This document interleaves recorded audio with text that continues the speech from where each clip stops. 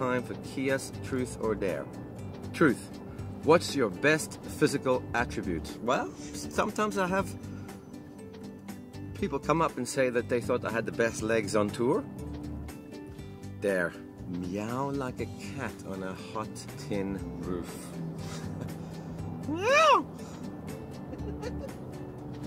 if you could be any superhero, who would you be? I would most probably be Roger Federer for a day.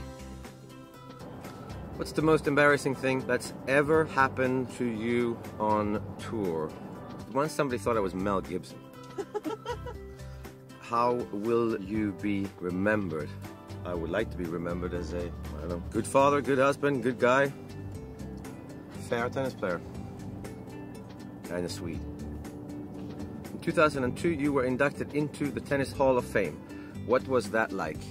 Well, when I got there, I realized that every great tennis player in the world is in there, and suddenly this is my day. Here I am. So um, suddenly you feel like you're amongst the, the dead and living legends of our game. So extremely special.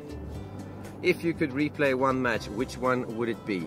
The 1988 US Open final against Ivan Lendl. I would replay it, even though I won it, I would replay it just so I can win it again. Now it's time for Kia karaoke. Cool. Sing your national anthem. I think that Australians must be sick of the national anthem in Sweden because they've heard it so many times in Davis Cup ties. Sing anything by Michael Jackson. We are the world. We are the people.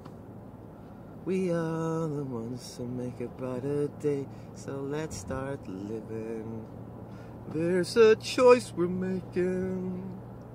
We're saving our lives. It's and I don't remember anymore.